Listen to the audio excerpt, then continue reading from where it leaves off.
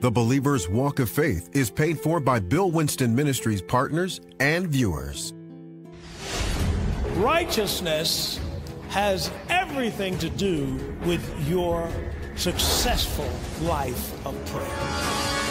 When you pray righteously, you pray with confidence that whatever you pray, God is going to hear you. When you pray something and you're waiting on the manifestation of the answer, once you pray it is when the fight begins. Notice the devil starts with your thoughts. So if you thought wrong, put your hand over your mouth because if you come out with something that negates that prayer, then you're going to have to start over again. So we have to watch what we say because angels are on assignment and waiting on God's words that you speak. How do you know that you have the petition you desired of him? Because he heard you. How do you know he heard you? Because you prayed according to his will. So when God suggests the impossible to you, be it unto me. Don't try to figure it out how he's going to do it. How is this going to work through me? Only believe. As we deal with prayer, we're going to also have to deal with faith. Because prayer does not make faith work, faith makes prayer work. And so, as we found that out, we have to see that when dealing with faith, you're dealing with the invisible. In other words, what controls what you can see is what you can't see. You recall how Jesus cursed a fig tree. And you recall that it said it dried up from the roots, okay? But notice what happened if the roots are gone, what happens to the tree? It dies. So if the root of anything, the, the, the root of strife, the root of sickness or cancer, the root, and the church deals with the root.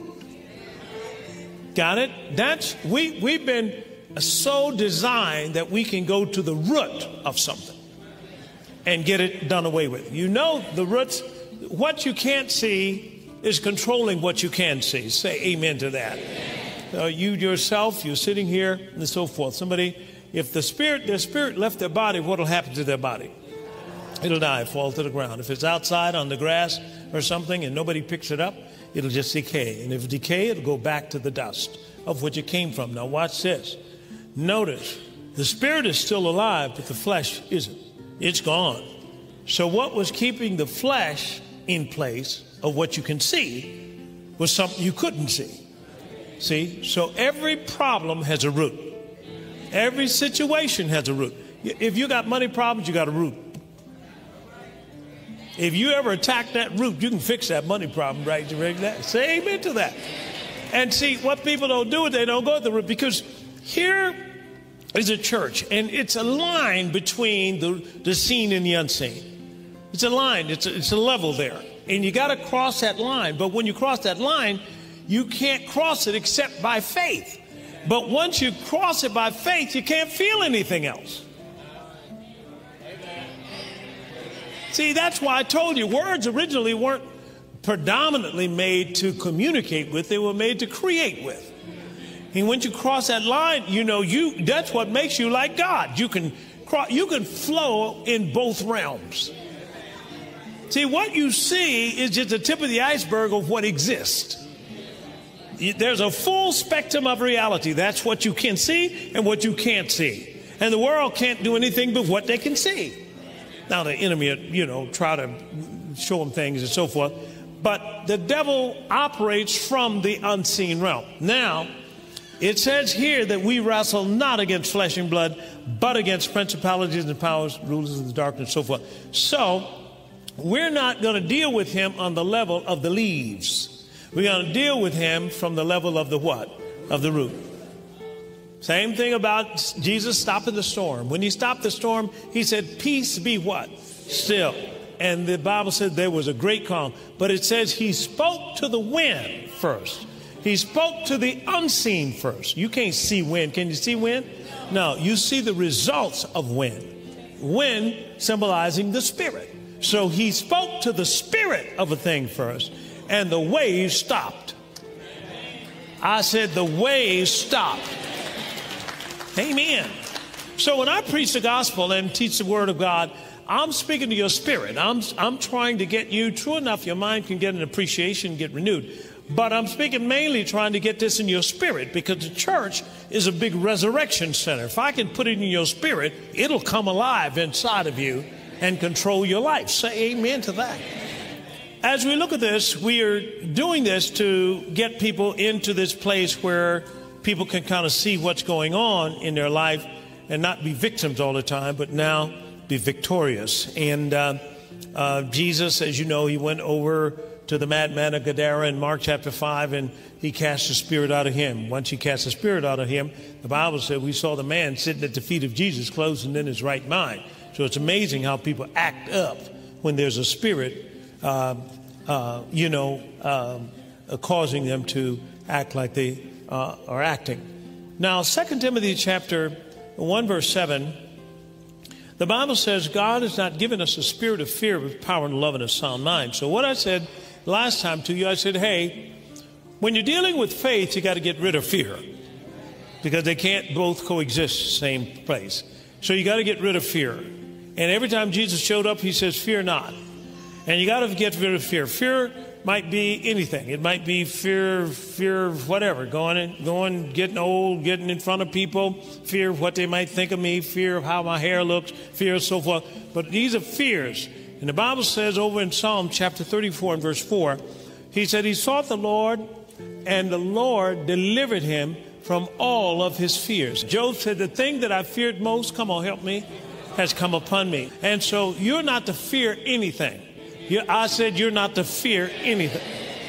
Fear is designed to negate your faith. Why negate your faith? Because your prayer won't work. Prayer won't work without faith. Pray, pray, prayer doesn't make faith work. Faith makes prayer work. So you need faith for your prayer to work. Fear comes in to negate it. So the enemy will put something in front of you, try to give you sudden fear, try to make you panic, try to make you have a panic attack, try to so forth and so on. Anything to keep you from getting your inheritance. Say amen to that. So from now on, no fear. Say no fear. No fear. All right. Now, the next thing was righteousness. All right? That righteousness. The Bible says in, in, in uh, James chapter 5 that the effective, fervent prayer of the who? Of the righteous availeth much. Now, this is kind of interesting here, the righteous. The Bible says over in Proverbs chapter 28 verse 1 that the righteous are as bold as a lion. Say amen to that. What does righteous mean, basically? It means that you are in right standing with God. When Adam and Eve uh, ate of the forbidden fruit in the garden, then Adam fell. And he fell to this place where he ran from God. He was not in right standing with God. And uh, as, as this happened, um, Adam now no longer knew God and could no longer operate as God called him to operate. In other words, um, his life became controlled by his soul instead of his spirit. And God wants you to walk in the spirit, wants you to be controlled by the Spirit. Put that verse up there. It's in Proverbs chapter 20 and 27. Proverbs 20 and 27. Here's what he says in it. He said this The Spirit of man is a candle of the Lord, searching the inward parts, all the inward parts of the belly. What does he mean? He means that God is going to use your spirit to guide you. So you were meant to be under spirit control, not under your soul. Well, I'm a soul man. Now, you, you weren't meant, you're meant to be under your spirit. Say amen to that. When you get born again, it's your spirit that gets born again. Your mind has to be renewed to that new person that's inside of there. Are you with me here? But when Adam fell, he fell to the level of his soul. So everything he did was intellectual. Eh, that was the center of his universe. And you get people today who've got all kinds of advanced degrees and everything, and they think that's the end of it. No, no, no, no, no, my friend. All of that without the light of the gospel is dark knowledge. all of it is dark knowledge because it can never get you out, completely out of anything. It's not designed for it. It can't take you there. You can't go into the ultimate wisdom of God with the mind of a man. You have to have help to get there. Say amen to that. And so some people think just because they get a lot of education and so forth, they don't need God anymore. That's because your mind has taken over. But here's the difference Satan can easily defeat the mind. As a matter of fact, what he does with people is he raises them up and uses them, and they think it's their own thinking. See, you and I were never designed to live sovereign. In other words, we were all designed for an overlord. So either we're going to worship God Oh, or we're going to worship something else. So we are designed for that. Now, what I'm saying, and I'm not talking against education, I'm saying education without God is really undereducated. You got to put God in the picture. It's got to come back in the picture because the, the all truth is in Jesus. Yeah, okay. All right. So I just want to let you know I'm not coming against anybody. I'm just saying you got halfway there. Now, now let's get the other side because you can't find God through the intellect. You can't dis- you can't get born again in your own mind. You got to release it and get the born again from the heart, from the spirit. Okay, praise God. All right. Now, so that, let's deal with this just a few minutes because we're talking about righteousness because it's very important. Now, it's very important for you to get an education, so I'm not putting that down at all. I'm just saying that you, you got to keep going and, and, get all of it. A person who started Harvard was a minister. A person who started uh, Princeton was a minister. I mean, because they understood the, the knowledge of the scriptures and so forth. But somehow the enemy has caused people to move that out for the most part. And I'm not talking against the universities now. I'm just saying that most of it is cerebral now. But we got to come back to God. We got to put Him first because the Spirit has to lead the way, then the mind. All right. Now, let's deal with this thing righteousness again. Um, I was looking at a Western. And, uh, you know, I look at Westerns every now and then. And, uh, you know, those old ones, you know, not, not, you know, old school. Y'all don't know nothing about that. It's old school. And uh, and this was starting starring Glenn Ford, and um, I used to like him because he, he was a good guy. You know what I mean? Uh, just okay. So anyway, um, I, I like John Wayne, but he walks sideways too much. Kind of sideways. Okay, but anyway. So, so anyway, he was he was down here. He, he was a marshal of the city, the town, and he was out fishing and getting some fish and so forth. Caught fish, and then uh, a stranger came riding a horse, and uh, a stranger asked, "Hey, which way to town?" and so forth. He said, "What's well, that way?" And go to the fork of the road and go left and so forth. He said, "But stranger, you willing partake of some fish with me? Well, I've got more than enough here. He said, Well, I think I will. So what did he do? He got down with him. They cooked the fish and eating and chatting and so forth. Then he said, Well, why are you going to the town? He said, Well, I'm going I'm to kill the marshal. well, Glenn Ford, being the cool Glenn Ford that he is, he didn't react, you know. He said, Well, why do you want to kill the marshal? He said, Because uh, he, I heard he's the fastest gun around here. He said, Well, you, you want to kill him just because he's the fastest gun? He said, Yeah. He said, Now, what is that going to get you? I mean, here's a man, you know, and you want to kill him and so forth.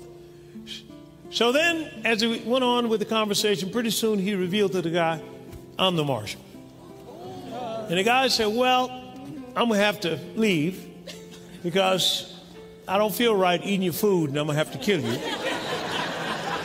And uh, and so and so Glenn Ford, being the cool Glenn Ford that he is, he said, "Oh, okay, all right. Well, I, I hate you have to kill me, you know, and so forth, or, want to kill me." So the guy left. So between the time they met and he said he's going to kill him, and the time they actually had the gunfight, a lot of things transpired. One, Glenn Ford A snake was about to bite him, and the guy shot the snake. And then one time the guy was in trouble. Glenn Ford helped him. So some things went down. So Glenn Ford comes back. He says, uh, Do you still want to kill me? Yep. I said, Well, I, I, you're a young guy. He said, I was like you when I was young. I was just hot headed, and so forth and so on. You know, you don't need to do this. Guy said, No, I got to do it. And he said, Let me tell you something. He said, Now, you got you have too much conscience to be a gunslinger. One day your guilt is going to get you killed. I want you to focus in on that just a minute. See, when you go up against the devil, if you got guilt, you better back off and get your guilt thing together. Because guilt strips you of your faith. Faith is what you need for the ability of God to come in and give you your super on your natural. Yes, Say amen to that. And what people try to do sometimes is try to go into places with sin consciousness. Places that they're going to get them find themselves not being successful, they're going to fail, they're going so forth, so on. And it's not God's fault.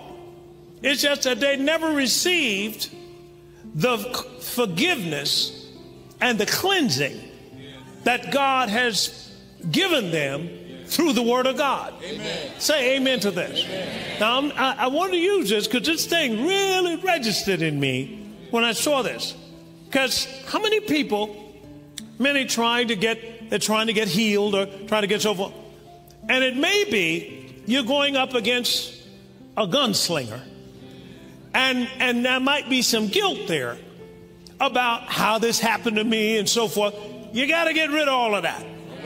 You got to read this Bible and, and let Him tell you that your sins and your iniquities He will remember no more.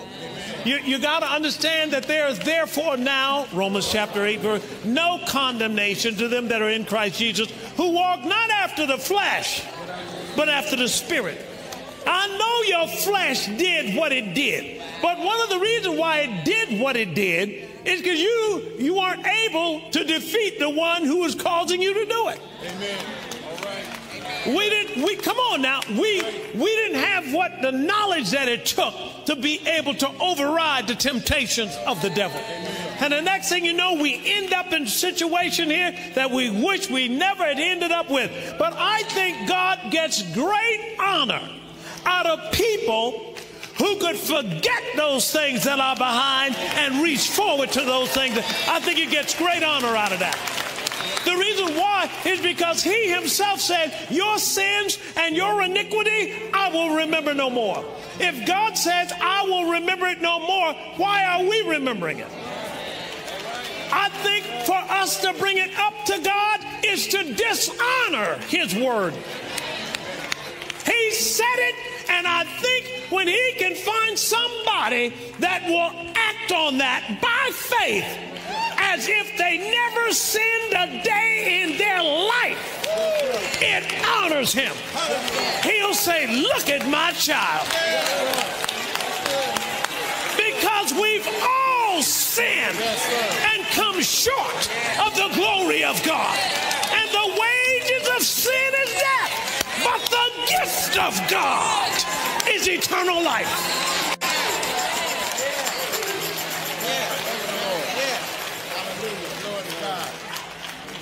Yep. What did he do? He got in a gunfight with Glenn Ford. What do you think happened to him? Shot dead. Here's what Glenn said I hated to do that. he told him. He told him, Your guilt is going to get you killed. You better get rid of that guilt. Because when you got something that attacks your body called a disease, you don't want any guilt. You want it all faith. You want, say amen to that.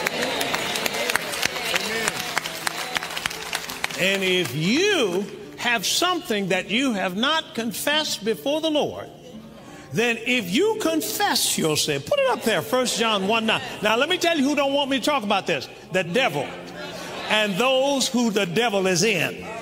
They do not want me to tell you this because this is a way Paul had to get free so that he can write over half the New Testament. Because he was hauling people off the jail who were innocent and committing to their death. But look what God did with a man that, that received Jesus. And all that was old went away and the new road opened up for him. Here's what he says. If we confess, if we confess our sin, he is faithful and just to what? Forgive us our sin and to do what now? Cleanse us of all unrighteousness. Now here's the deal about that. Don't wait on a feeling. Well, I don't quite feel forgiven. What does that feel like? What you need to do is take your forgiveness by faith and act like you never did it. Lord.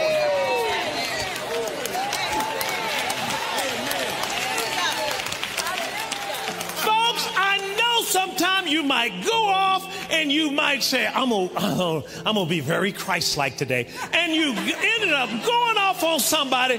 Now the enemy gonna try to torment you with that. And so, and when you went off, went off, boom, uh, Father forgive me, Lord have mercy. Then get up and say, all right, I'm here again. Praise God. We, we going at it. We, we ain't through yet. You got what I'm saying? Remember, the enemy don't want me to tell you this. Because this is what he's been stacking up some of his defense on. Right here. And it's been big in these modern times because there's so much so much area of temptation out here today. You down there on the farm down there back in 1820, you ain't got much to tempt you. You you you know you you just you didn't plow today. I mean, are you following what I'm saying? Oh, boy, I'm telling you. Look at the guy who's been incarcerated or something like that for some drugs, something like that, and come out. And boy, God, you take great pleasure when you got saved and you, you forget what you did behind and start acting like, come on, acting like a son of God and talking like a son of God, like you never missed it. Hey, that's good news, folks.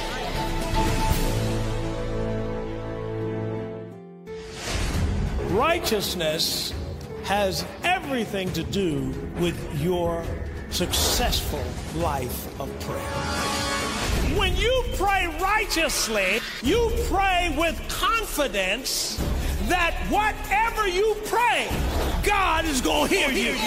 When you pray something and you're waiting on the manifestation of the answer, once you pray it is when the fight begins. Notice the devil starts with your thoughts. So if you thought wrong, put your hand over your mouth because if you come out with something that negates that prayer, then you're going to have to start over again.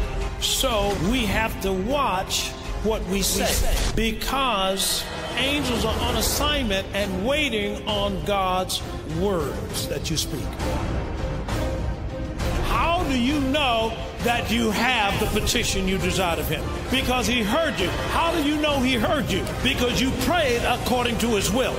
So when God suggests the impossible to you, be it unto me.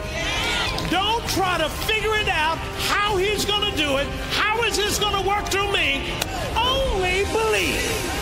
Trust that you've been blessed by the day's message. I'd like to take a moment to share a couple of testimonies with you that that have come from our prayer call center. We have a call center that's set up to pray with people who would call in. Now, we've created this center for you, the partners, the viewers, those who would call in need prayer for any matter. It doesn't make any difference. We want to pray with you, stand and agree with you, whatever we need to believe God for you for the things that you need God to do in your life. Now, here is a testimony that was given to me. This came in from Florida. This particular person had a family member that was in a coma. They'd been in a coma for two weeks, and that this family member was, the family was being challenged as to whether to take the person off of life support or just leave them on. Well, this one person decided to call the prayer center here at Bill Winston Ministries, and that prayer minister prayed with them and believed God for that person's deliverance or that person to come out of that coma. Well, shortly after, the family called this person and reported that the sister, the dear sister that was in a coma, opened her eyes and woke up and then asked for a drink of water. Now, they asked what time that this sister called the prayer center. What time did they pray for this dear sister in the hospital? They prayed at 11:16 a.m. in the morning, and that is the exact time the sister woke up from a coma that she had been in for 2 weeks. Praise God. Let me give you another one. This testimony comes from Illinois. This particular person called for prayer uh, for their godmother. Now, she had stage four cancer and was going to have surgery. Now, after they had received, received prayer from the prayer call center, the doctor started the surgery but could not any longer find cancer in this person's body. Now, these are actual testimonies that have been coming in. So I'm just saying here that if you need prayer, if you need somebody to agree with you, we've got people that know how to get a hold of God. I'm telling you, see, God's plan is that we all be healed. God's plan that we all be delivered. God's plan that we all have enough abundance or whatever have you. So if you're going through something that isn't God's plan, in other words, there's something in your situation there that you know is not God's will for your life, call that prayer center. They're standing by. These folk know how to pray. And as you pray with them and they agree with you, we're going to believe God that every need of your life is going to be met. Well, remember, we're here for you. The prayer call center is available. We love you. And this is Bill Winston saying, keep walking by faith. Doctors Bill and Veronica Winston are dedicated to seeing lives changed through the power of prayer. Our loving and highly trained prayer ministers are ready to pray and agree with you. We know that prayer can turn around any situation in your life. Contact us by phone at 1 877 543 9443 or submit your prayer request online at billwinston.org forward slash prayer. Follow us on Periscope and Facebook to join us for our regular live prayer sessions. We want to thank our partners who have made this prayer call center possible. Together, we are transforming lives throughout the world. If you are not a partner, we encourage you to pray about joining us in partnership and be a part of the wonderful work that God is doing through this ministry. We love you and look forward to praying and partnering with you. The mission of Bill Winston Ministries is to preach the gospel of the kingdom throughout the world. Thank you, Bill Winston Ministry partners and viewers, for your continuous support of the Believer's Walk of Faith broadcast. The Believer's Walk of Faith is paid for by Bill Winston Ministries partners and viewers. And viewers. And viewers. And viewers. Chẳng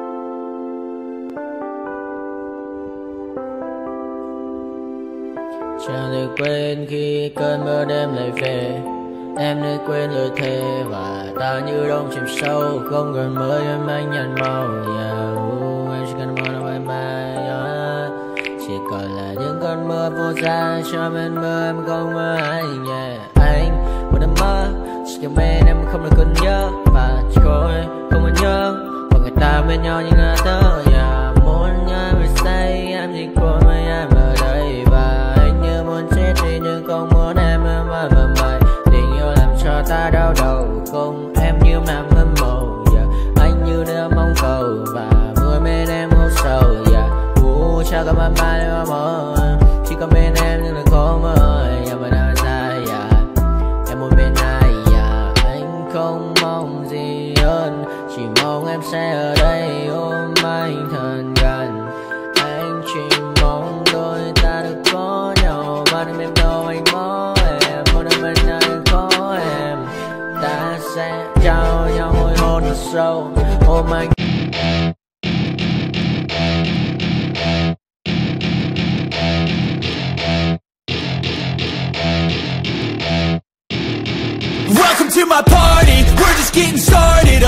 is a dream or a nightmare scarring. Hand me a drink cause I think I'm going all in. Get me a shrink who can catch me when I'm falling? Cover up my scars, flip the handlebars Crashing in my car, wake up in a bar I'll be a superstar, just on my avatar This world is so bizarre, empty out the reservoir.